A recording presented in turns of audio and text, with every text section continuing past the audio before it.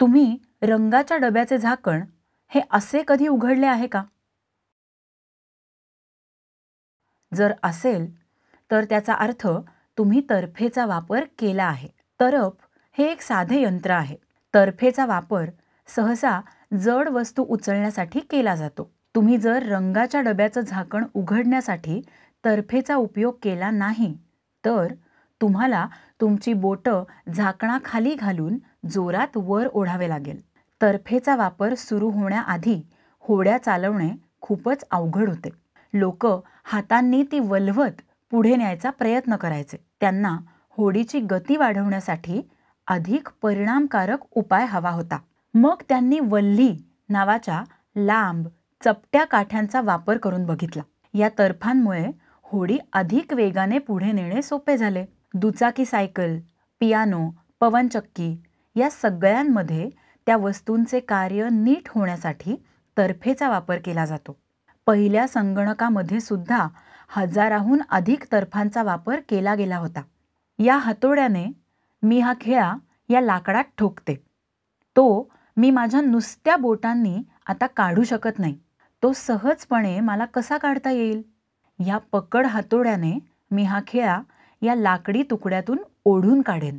तर्फेमुळे बल अनेक पट वाढते. या प्रयोगातून हे कसे होते ते बघूया. हा पुठ्ठा घेऊन या पट्टीवर ठेवूया. डाव्या बाजूला तीन नाणी व प्लास्टिकची डबी ठेवूया. ही नाणी वर उचलायला मला इथे बल लावावे लागेल. त्याऐवजी ही नाणी इथे ठेवून मी तोच परिणाम मिळवू शकेन. ही पट्टी अशी ठेवली तरी परिणाम तोच असेल का? आता मला तीन नाण्यांचं वजन उचलण्यासाठी फक्त एक नाणं लागेल. तर्फेमुळे बल तिप्पट झाले.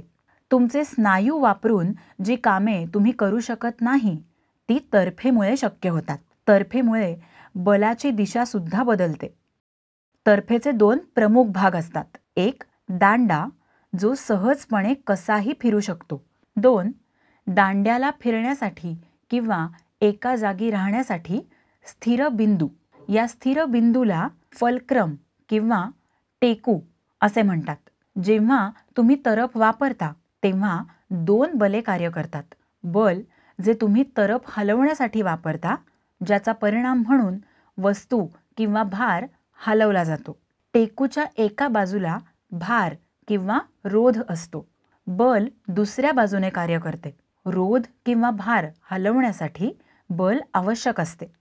बल आणि टेकू यामधील अंतराला बलभुजा असं म्हणतात. भार आणि टेकू यामधील अंतराला भारभुजा असं म्हणतात. टेकूची जागा बदलून ही अंतरे तुम्ही बदलू शकता. तरफ पुरेशी लांब असेल तर तुम्ही काहीही उचलू शकता. तरफ वापरून एका हाताने हत्ती उचलू शकाल का? विचार करा. तर्फेचे तीन प्रकारात वर्गीकरण केले जाते. ते टेकूची जागा भार आणि बल यावर अवलंबून असते. या कृतींमध्ये काय समान आहे? या कार्य करणाऱ्या तर्फा आहेत. हा तर्फेचा पहिला प्रकार आहे. तर्फेच्या पहिल्या प्रकारामध्ये भार आणि बल यांच्यामध्ये टेकू असतो. कात्र्या तर्फेच्या पहिल्या प्रकारात मोडतात. जेव्हा तुम्ही कात्रीने काही कापता तेव्हा तुम्ही दोन पहिल्या प्रकाराच्या तर्फा वापरता. दोन तर्फा एका टेकूभोवती कार्य करतात. तोच प्रकार कागदाला भोके पाडण्याबाबत आहे. सीसॉ हे पण पहिल्या प्रकारच्या तर्फेचे उदाहरण आहे. सॉफ्टड्रिंकच्या कॅनचे धातूचे झाकण हे सुद्धा याच प्रकारच्या तर्फेचे उदाहरण आहे. हे आपण अजून एका प्रकारे उघडू शकतो. ही किल्ली घेऊन अशा रीतीने दाबा. हे संयुक्त यंत्र आहे जे दोन तर्फांचा वापर करते. तुमच्या हाताने जेव्हा तुम्ही एखादी वस्तू उचलता तेव्हा तुमचे कोपर पहिल्या प्रकारच्या तर्फेसारखे काम करते. सगळ्याच पहिल्या प्रकारच्या तर्फांचा उपयोग काही वस्तू उचलण्यासाठी होत नाही. जर तर्फेच्या मध्यावर टेकू असेल तर त्याचा उपयोग वस्तू समतोल करण्यासाठी होतो. दोन्ही बाजूला समान बले असल्याने तरफ जमिनीपासून समांतर राहील.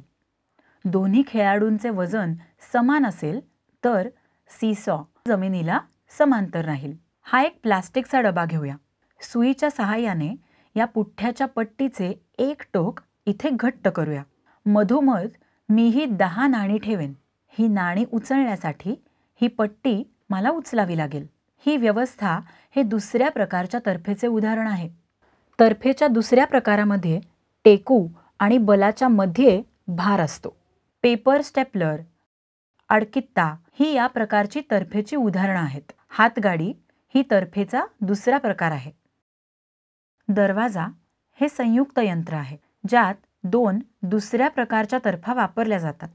टेकूच्या ठिकाणी हिंजेस म्हणजे बिजागऱ्या असतात. भार म्हणजे दरवाजाचे वजन. तुम्ही दरवाजाच्या कडेवर तो ओढण्यासाठी किंवा ढकलण्यासाठी बल लावता. दरवाजाचे हँडल हे दुसऱ्या प्रकारच्या तर्फेचे उदाहरण आहे. ज्या ठिकाणी हँडल फिरते त्या ठिकाणी या तर्फेचा टेकू आहे. हँडलचे वजन म्हणजे भार. तुमचा पाय हे दुसऱ्या प्रकारच्या तर्फेचे उदाहरण आहे. तुम्ही जेव्हा तुमच्या चवड्यांवर उभे राहता तेव्हा प्रत्येक चवड्याच्या तळापासला जॉईंट किंवा सांधा हा टेकू असतो. तुमचे वजन हा भार असतो. तुमच्या पायातील स्नायू टाच उचलण्यासाठी बल देतात. आपण आपल्या सेटअपची रचना पुन्हा बदलूया. मला हा चेंडू हलवण्यासाठी मध्यावर बल लावावे लागेल.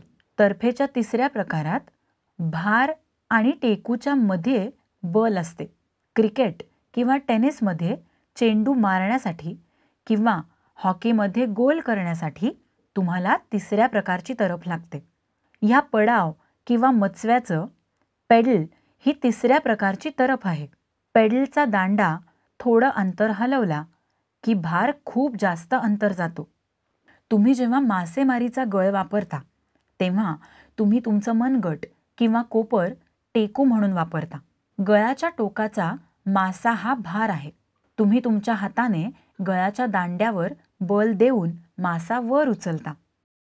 जेव्हा तुम्ही माती उचलण्यासाठी फावडं वापरता तेव्हा तुमचं शरीर आणि फावडं मिळून तिसऱ्या प्रकारची तरफ बनते.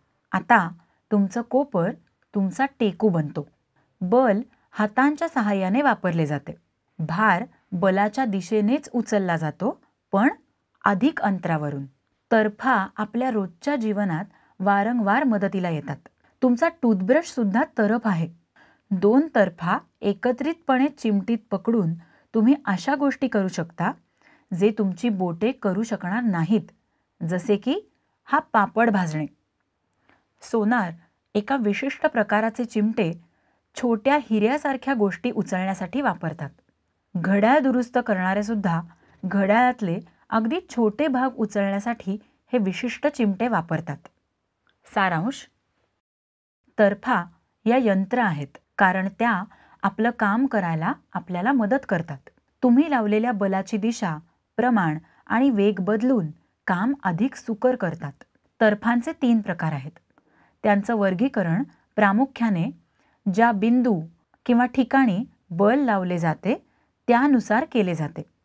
जिथे भार किंवा रोध असतो आणि जिथे टेकू लावला जातो. पहिल्या प्रकारच्या तर्फांमध्ये बल आणि भार टेकूच्या विरुद्ध बाजूंना असतात. दुसऱ्या प्रकारच्या तर्फांमध्ये भार आणि बल टेकूच्या एकाच बाजूला असतात पण बल हे टेकूपासून भारांच्या अंतरापेक्षा जास्त अंतरावर असते. भार आणि बल हे दोन्ही एकाच दिशेत असतात. तिसऱ्या तर्फेच्या प्रकारामध्ये टेकूच्या ज्या बाजूला भार असतो त्याच बाजूला बल लावले जाते. पण बल हे भार आणि टेकूच्या मध्ये लावले जाते. दोन्हीची दिशा समानच असते. कृती तुमच्या दुचाकीमधील सर्व प्रकारच्या तर्फा शोधून काढा. वाद्यांमध्ये वापरल्या जाणाऱ्या सर्व प्रकारच्या तर्फा शोधा. आव्हान आर्किमिडीज नावाचा प्राचीन ग्रीक शास्त्रज्ञ हा पहिला माणूस होता ज्याने तर्फेचे कार्य कसे चालते ते दाखवले. तो म्हणाला मला उभं राहायला जागा द्या आणि मी पृथ्वी हलवून दाखवतो. त्याने टेकू म्हणून काय वापरले असते?